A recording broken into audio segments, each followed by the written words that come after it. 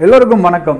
சஷ்டி விரதம் அதாவது இந்த இரண்டாயிரத்தி இருபத்தி நான்கு நவம்பர் மாதம் ஏழாம் தேதி சூர சம்மாரம் சஷ்டியோட கடைசி நாளுங்க. அன்னைக்கு தான் மாலை அணிவிக்கிறது. நாங்கள் எங்களுடைய வழக்கம் எங்கள் குருநாதரின் மூலயமா நாங்கள் ஃபாலோ பண்ணுற விஷயம் என்னன்னு கேட்டிங்கன்னா இது இருபத்தோராவது முறையாக நாங்கள் மாலை போட்டு அந்த சஷ்டி விரதமானது இருக்க போகிறோம் இருபது ஆண்டுகள் கடந்திருக்கும். பலனடைஞ்சவங்க பயனடைஞ்சவங்கலாம் நான் பொதுவாக சொல்ல மாட்டேங்க. முருகா நீ எனக்கு இந்த வாழ்க்கையை கொடுத்துருக்க.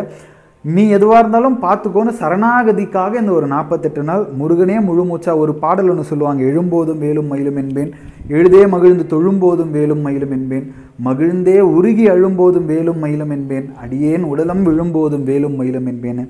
அப்படி இந்த வேலும் மயிலும் வேலவனும் எப்பொழுதுமே நம்மளோட சிந்தனையில் இருந்தாருன்னு எங்களை வாழ்க்கைக்கு தேவையான எல்லாமே நமக்கு கண்டிப்பாக கிடச்சிரும். இந்த கலியுகத்தில் நமக்கு தேவை சார்ந்து ஓடிட்டுருக்க இந்த வாழ்க்கையில் நம்மளால் முழு மு- எல்லா நாளுமே அப்படி இருக்க முடியுமான்னு கேட்டிங்கன்னா ஒரு கேள்விக்குறி தான். ஆனால் இந்த நாற்பத்தெட்டு நாள் விரத முறைகள் பொதுவாக இந்த ஒரு மண்டலம் நாற்பத்தெட்டு நாள் அப்படின்றது என்னன்னு கேட்டிங்கன்னா இருபத்தி ஏழு நட்சத்திரம் ஒன்பது கிரகம் பன்னெண்டு ராசி. இது மூணுத்தையும் நீங்கள் கூட்டினீங்கன்னா உங்களுக்கு நாற்பத்தெட்டுன்றது வரும். அதுதான் ஒரு மண்டலம். இந்த நாற்பத்தெட்டு நாள் விரதமானது நம்ம இருக்கிறது இந்த மாதம் இருபத்தி ஒன்று ஒன்பது இரண்டாயிரத்தி இருபத்தி நாலு அன்னைக்கு முதல் முதல் கட்ட மாலையானது அணிவிக்க போகிறோங்க அன்னையிலேருந்து கரெக்டாக நாற்பத்தெட்டாவது நாள் நமக்கு சம்ஹாரமானது சஷ்டி விரதமானது முடிவடையும். விரதம் அப்படின்னா ரொம்ப காம்ப்ளிகேட்டட்லாம் கிடையாது. ரெண்டு வேளை குளிக்கணும் நான்வெஜ் அவாய்ட் பண்ணிடணும்.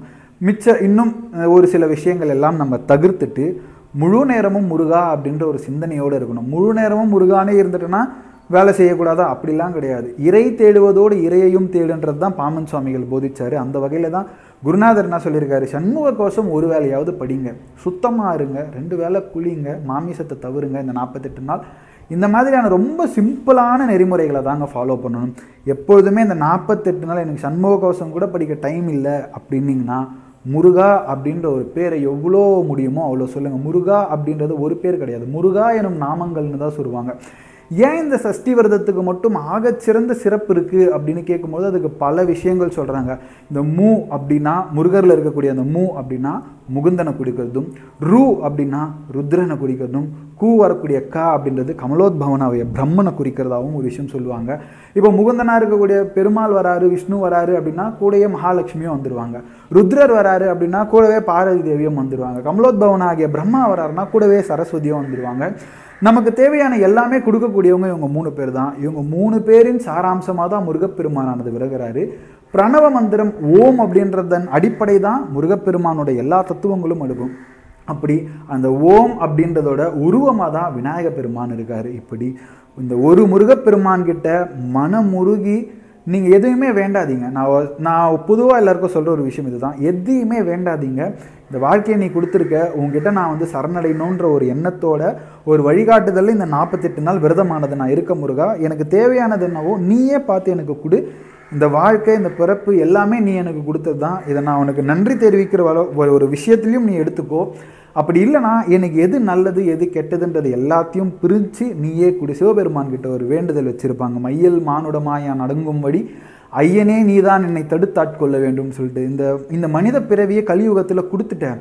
நான் தெரிஞ்சோ தெரியாமையோ நிறைய தப்புகள் செய்கிறதுக்கான சூழ்நிலை ஏற்படும்.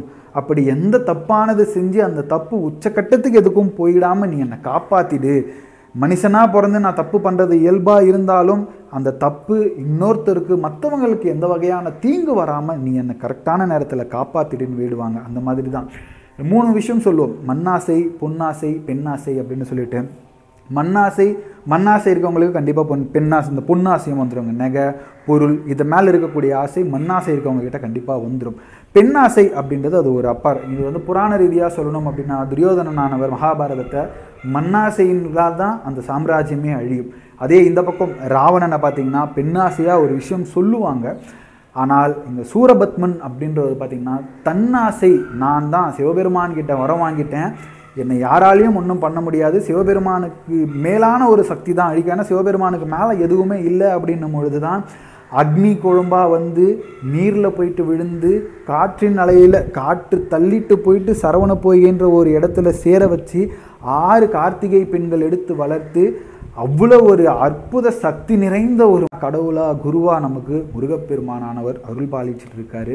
அந்த முருகப்பெருமானுக்கு இந்த நாற்பத்தெட்டு நாள் விரதம் அப்படின்றது ரொம்ப சிம்பிளான விரதம் தான் அதை நீங்கள் எந்த அளவுக்கு மனமுகந்து முழு மனதால் முருகா நீ தான் உன்னை தவிர எனக்கு வேறு எதுவுமே இல்லைன்ற அவருடைய காலை பிடிச்சி இந்த நாற்பத்தெட்டு நாள் நம்ம வேண்டணும்னு வைங்களேன் நம்ம வாழ்க்கைக்கு தேவையான எல்லாமே அவருக்கு கண்டிப்பாக கொடுப்பார். இந்த சம்மஹாரம் அப்படின்னு சொல்லப்படுறது எப்படி அப்பேற்பட்ட சூரபத்மன் அசுரனாக இருந்தாலுமே கூட அவருடைய பக்கத்திலேயே வேலாவும் சேவல் கொடியாகவும் வச்சுக்கிட்டாரோ? நீயே கதின்னு நம்ம இருக்கோம். இந்த நாற்பத்தெட்டு நாள் எந்த விதமான செய்கையும் செய்யாமல் நம்ம இருக்கும்பொழுது முருகா முருகா முருகானே நீங்கள் சொல்லிட்டு இருந்தீங்கன்னா கண்டிப்பாக அவருடைய காலடியில் நம்மளை சேர்த்துப்பார். நம்ம வேண்டுதல் வேறு எதுவுமே கிடையாது.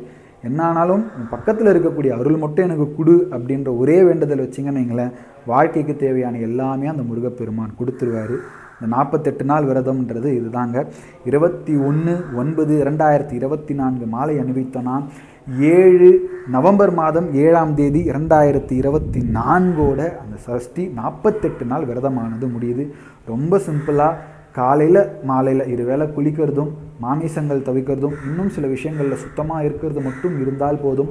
நேரம் இருக்குன்றவங்க பாம்பன் சுவாமிகள் ஏற்றிய சண்முக கவசத்தை ஒரு முறையோ ஆறு முறையோ முப்பத்தாறு முறையோ பாராயணம் பண்ணலாம். இல்லை அப்படின்னும் பொழுது வேல்மாறல் அப்படின்னு இப்போ எல்லாரும் பரவலாக சொல்லிட்டு பாமன் பாம்பன் சுவாமிகள் சஸ்திரபந்தம்னு ஒரு வேல் சொல்லியிருக்காரு. அந்த ஒரே ஒரு ஐம்பத்தைந்து எழுத்துக்கள் கொண்டு தான் இருக்கும். அதை ஒரு ஆறே முறை நீங்கள் பாராயணம் பண்ணலாம். ஏதோ ஒரு சிந்தனையில் எப்பொழுதும் முருகா அப்படின்ற ஒரு நினைப்போடவே இருங்க. மறந்தாதான் தான் நினைக்கணுன்றது தோணும். முருகனை மறக்காமல் எப்பயும் உங்களுக்குள்ளேயே முருகரை நிறுத்திட்டு இருக்கிறது தான் ஆகச்சிறந்த விரத முறை அப்படி இருக்க இந்த நாற்பத்தெட்டு நாள் விரதமானது இருந்து வாழ்க்கைக்கு தேவையான அத்தனை பலனும் உங்கள் எல்லாருக்கும் கிடைக்கணுன்றதுக்கான ஒரு இன்ஃபர்மேஷனாக தான் இந்த வீடியோ இந்த நாற்பத்தெட்டு ஒரு மண்டலம் அப்படின்றது இருபத்தேழு நட்சத்திரம் பன்னெண்டு ராசி ஒன்பது கிரகங்கள். இதோடைய கூட்டு தான் அந்த நாற்பத்தெட்டு அது ஒரு மண்டலமாக நம்ம இங்கே எதுனாலும் ஒரு மண்டலம்னு சொல்லிட்டு இருக்கோம் அப்படி இந்த ஒரு மண்டலம் முருகனே கதின்னு இருக்கும்பொழுது வாழ்வாங்கு வாழ்வதற்கான வழியை முருகப்பெருமான் கண்டிப்பாக கொடுப்பார். இன்னும் சில தகவல்களும் தெரிஞ்சுக்க வேண்டிய விஷயங்களும் அடுத்தடுத்த காணொலியில் எடுத்துகிட்டு வந்து சேர்க்குறேன். குருவே சரணம்.